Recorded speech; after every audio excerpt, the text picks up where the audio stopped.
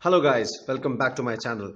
I am so pumped up now because I have finally tested the exotic range by the house of Rasasi. The exotic range is known as Al Boruzz. Alboruz range has quite a few perfumes up its sleeve. It has Indonesian Oud Asrar, it has Rue Al Assam, and it has one more oud that I'm going to discuss in my videos later on. So my friends why am i so pumped up or excited about these? Okay i i am so sorry i cannot show you a bottle of this because i wasn't sure what rasasi was going to do with oud. They were trying an exotic they're trying to pull off an exotic uh, kind of a thing here okay with the oud and stuff. Uh, so I, I thought maybe it's better to decant this stuff before i go in for the real kill. I have experienced Rasasi's top-notch quality in perfume making with the La Yuqawam range and many others which have uh, which are supposedly marketed in the mark, um, marketed as clones for the premium perfumes by niche houses or popular designer houses. See, I have told it in my last video. I mean, a few videos um, earlier. Uh, I had talked about this particular topic where I've said that these Middle Eastern houses have the potential, my friends they have the potential but to capture the western market or to capture a wider audience they have to they have to come out with something which appeals to the western audience more. See i am not saying that the western noses are ignorant. It is the west actually who came out with oud they were the ones who made the oud popular oud has been in india or southeast asian countries or the Middle East countries for, for hundreds of years, but it was never so popular. The West made it popular. You have to give them the credit. But now, since they have uh, uh, come out with really beautiful gems, they have created such masterful blends with ouds. Hats off to the Western perfumeries. They have taken the oud to a different level. And this has also helped companies based in the Middle East like Rasasi, like Afnan, like Al Rihab, uh, like Al Haramain, uh, and Ajmal, companies like this, to come out with newer products, they are exploring more and more of the options because oud is a very complex topic. It is the animalic, old, old oriental kind of scent which not everybody will like. So they have different compositions which will appeal to different uh, uh, sections or sectors of uh, the perfume world. So today we are talking about Boruzz Asrar. This is the Indonesian oud. Ru Al Assam, I have tested it extensively, but these perfumes are so, so nicely blended, such powerful bombs that I'm going to make separate reviews of this. I just wanted to show you. I am so sorry I cannot show you the complete bottle of this because I wasn't sure that this perfume will really uh, do the magic for me. So I wanted to try out the decants. These decants have been provided to me by Kamal Shahlani. And now a good friend. I'll put the links down below if you want to uh, contact him or if you want to check out his uh, uh, Facebook page that is Aroma for Life. He has got a penchant for perfumes for niche quality perfumes and his collection is just absolutely mind-blowing. So people in India or perfume lovers all over the world if you want to check out his collection and if you want to check out his um, exotic range of perfumes you would want to check out that Facebook page uh, anyway talking about Boruzz range Asrar. This is the exotic range which sells for about 150 to 200 US dollars. Yes, it is expensive. It comes in a really beautiful bottle. Check on the internet. I'll put the long I'll, I'll put the links down below. You can go and have a look. Uh, they have some three or four perfumes in the range. I have managed to get my hands on these two. Now, I'll talk about the notes. Look at the notes. Please, please look at the, I mean, please hear the notes. I'll, uh, Uh, I'll just speak out the notes for you. So this is Asrar Indonesia. Top notes are ginger, grapefruit, grapefruit and bergamot.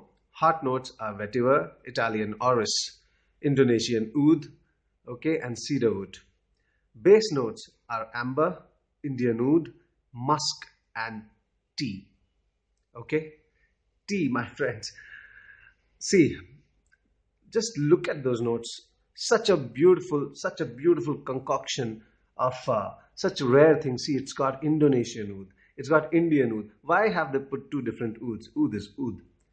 See, oud is a very complex topic. Oud is spread all over the uh, Southeast Asian countries and India. Oud is very popular in, in, in, in India.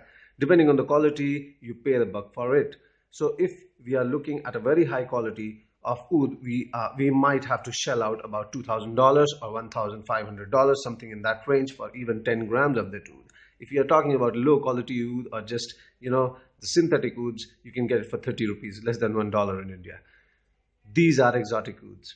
These people, hats off Rasasi, you really impressed me, impressed me with the La Yuqawam range. I'm still going to review uh, three of uh, the, your latest uh, uh, perfumes. I am so impressed, and I'm sure you you you are going to capture the Western market as well. Not capture. I won't use the word capture. That's a little offensive. I will say to really showcase your talent to the Western world, and I'm sure there are many viewers or people watching my videos who will approve of this after you get to smell this perfume. Guys, get a decant of this. This is a bomb. When we talk about ouds, something like this comes to the mind as you as you've seen in my videos. This is Faqat Lil Rijal or Only for Men by the House of Rasasi. You remember how I talked about it? That was pretty honest about this oud. Okay, a pretty honest opinion. I am an unbiased fellow, guys. I'll definitely give you whatever is there in the scent. I am not going to promote any shit. I am really going to talk about the perfumes in a very detailed manner and to the level of my expertise, obviously. Okay, so let me start by saying this. Boruzz Asrar is a pleaser. All right, it is an exotic, exotic, masterful blend which has taken very faint quantities of oud so this is not the animalic oud that you find in something like the Faqat Rijal, which I just showed you. I know that sounds funny. That Faqat sounds funny, but that is how it is. Anyway, it has taken the oud to a different level. They have created something which is not so hard hitting to the nose. It is in the background. It is lingering somewhere around there, which even the expert noses will find difficult to, you know, to appreciate because they might have not put their noses on the different kind of ouds that you have. Cambodian oud, Indonesian oud, Burmese oud, Indian oud. I think the Indian oud and the Cambodian and the Cambodian oud, these are the loudest ouds that you can find. This, however, is a subdued, subdued, beautiful, masterful. I, I mean, I'm finding it difficult to describe this perfume. So let me put it this way. This starts with a beautiful, natural, freshly cut ginger with grapefruit, which is also quite prominent. Bergamot, I am not sure, I could not make it out. Maybe a faint quantity which is overwhelmed by the other notes. The heart notes, I get vetiver, the orris a little bit, which provides that muddy or earthy kind of vibe to it, even the vetiver. But the vetiver here is so, so, so defined, so well defined. I mean, I have Tom Ford's Grey Vetiver. That is my to-go scent. You know, uh, whenever I feel like wearing a light scent, a smooth scent which calms the mind, I go, I go in for the Grey Vetiver. The vetiver here is very sophisticated. It is very smart, very appealing, and very spicy. Okay, the heart, the base notes have amber, Indian oud, musk, and tea. Okay, I am not getting the Indian oud to be honest. Maybe it is in a very faint quantity. Amber is supposed to provide a sweet quality to any perfume. I do not get any sweetness out of this. That is one plus point because it is really different. The musk is very sophisticated kind of musk. Okay, this is the black musk. Just a hint of it. The tea. When you smell the perfume completely, when you let all the mm, all the notes hit you in the nose just at the peak of it just at the top of it okay you are going to get a hint of beautiful black tea something that you'll sample from india india and china are the largest exporters of tea the black tea the highest quality of black tea especially the darjeeling tea you understand me darjeeling tea or rather it is stronger than Darjeeling tea. It is something like the Assam tea. The Assam tea, Assam is one of the states which has the highest production of tea in India. The Assam tea, the strong black tea which will hit you in the nose. Okay, it is somewhere near between the Darjeeling tea and the Earl Grey that you get. Okay, somewhere in between that. So it provides that richness, that spiciness to the end, and it gives a deep character to this perfume. The vetiver is actually giving a very deep character to this perfume talking about the presentation the presentation is absolutely beautiful it comes in a 50 ml bottle prices ranging from $150 to $200 very difficult to find because now these perfumes are not popular um, my friends here in india can get it from aroma for life in india very exotic perfume guys we are talking when we talk about exotic we are talking about something like chemi or alchemia this is the sub branch of uh. They have released these exotic perfumes. They had to because I am sure oud in a different blend, in a different kind of a presentation is very addictive. Talking about performance on this thing, this performance is not your beastie oud, something like Rue al Assam here.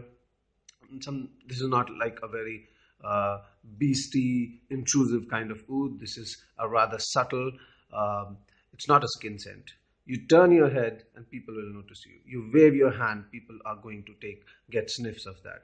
You're walking people walking around you will smell it. But it is not a beastly perfume. It's not a hard-hitting perfume. It's not going to cloy you. It's not going to annoy you. I'm wearing it on a hot day and my friends let me tell you we use vetiver the, the vetiver uh, you know it comes like something like uh, uh, shavings wood shavings something like that. Um, we hang it we hang it during the summers we put water into it we use it like a curtain okay? It provides uh, coolness in the hot weathers in india. And so whatever has this quality it will soothe your mind it will cool your it has a cool calming effect during the summer so this really does the job for you this will get you noticed okay the performance it has a very good projection for about 6 to 8 hours and it's going to last on your skin depending on the weather from 12 hours to something like 18 hours for sure. Uh, value for money, this is definitely value for money. There's not, it's not a very complex structure. It's not something like, you know, which will change initial notes or something else. And uh, the other notes in the, you know, in the dying, drying, dying down, when the scent is drying down or it's dying down rather, is going to change much. It's pretty linear kind of a stuff. The opening was heavenly the dry down is pretty linear and it's going to stay that way. Uh, so I would say it is a very, you know, attractive scent. It is for men who are above 25 to 30 years of age, men who are sophisticated, clean, well groomed, who wear suits, who go to clubs, who do not talk much, who have a magnetic personality. I can associate this with a magnetic personality, my friends this is going to get you noticed. Please try it out. Please try it out. I'd say get a decan, try it out, and share your opinion with me. Okay? There's nothing to dislike about this. Even vetiver lovers, you're going to love this. Please try it. I'm going to review Rue al Assam. That is a brilliant take on, I think, the Indian oud. Yes, Assam means Indian. Assam is one of the states. I'm sure this is Indian oud, the typical loud Indian oud.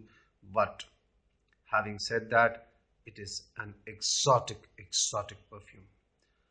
My friends, please try this out. Okay. Thank you so much for watching. If you have tried it out, if you have, um, you know, the bottle or whatever, you want to discuss something extra about this, please feel free to comment and let me know. And after trying the perfume, please come back and let me know whether you liked it or not. That really helps me. Thank you guys. Have a great day.